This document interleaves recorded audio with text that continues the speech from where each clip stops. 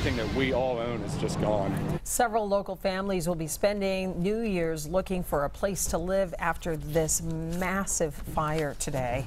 It erupted along Freeport Road in East Deer Township between Route 28 and the Tarentum Bridge. Channel 11's Aaron Martin is live now after speaking with a man who fought to save his family from those flames. And Aaron, this is such a tough thing to go through, especially during the holidays.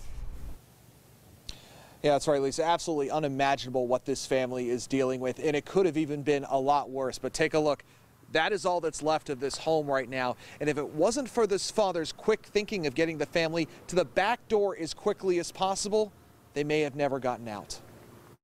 All Aaron Sacanti could do was comfort his fiancee as they looked at what little is left of their home on Freeport Road.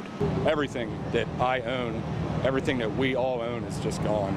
This morning around 11:30, a pickup truck popped a tire and crashed into his front porch, puncturing the gas meter and creating a massive fire.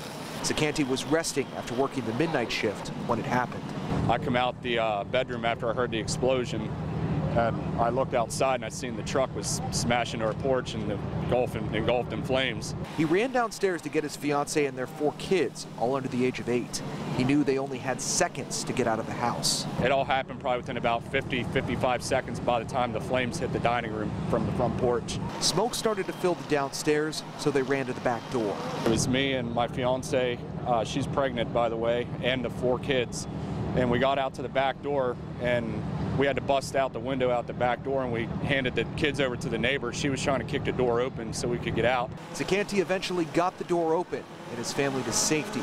Moments later, firefighters arrived at the house engulfed in flames. What happened is an absolute tragedy, but yet also an act of God that we made it out alive. Now, we have learned that the Red Cross is assisting the families that have been devastated by this fire, which is the good news. Again, nobody was hurt. However, we did learn that that family did lose two cats in this fire. Uh, as we mentioned, the Red Cross will be assisting those families with food as well as shelter as they continue to try to put their lives back together. We're live tonight in East Deer Township. Aaron Martin, Channel 11 News.